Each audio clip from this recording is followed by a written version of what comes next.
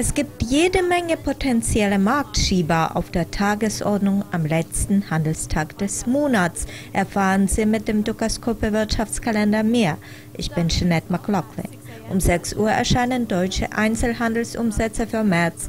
Die Kennzahl vom Vormonat wurde von 2,9 auf 2,3 revidiert. Schweizer Kopfkonjunkturbarometer kommt um 7 Uhr. Der Wert verbesserte sich im März. Das heißt, die Wirtschaft gewinnt an Schwung.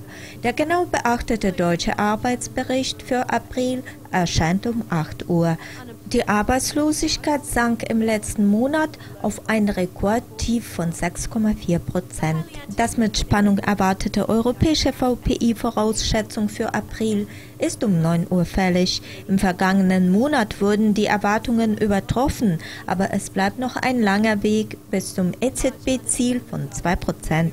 Die Arbeitslosendaten des Euroraums für März werden zur gleichen Zeit veröffentlicht. Die Arbeitslosenquote sank im Februar auf den niedrigsten Stand seit Mai 2012, bleibt aber im zweistelligen Bereich. Persönliche Einnahmen und Ausgaben in den USA liegen um 12.30 Uhr vor.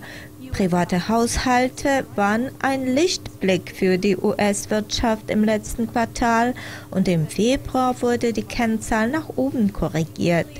Die mit Spannung erwarteten Wachstumszahlen aus Kanada werden um 13.30 Uhr erwartet.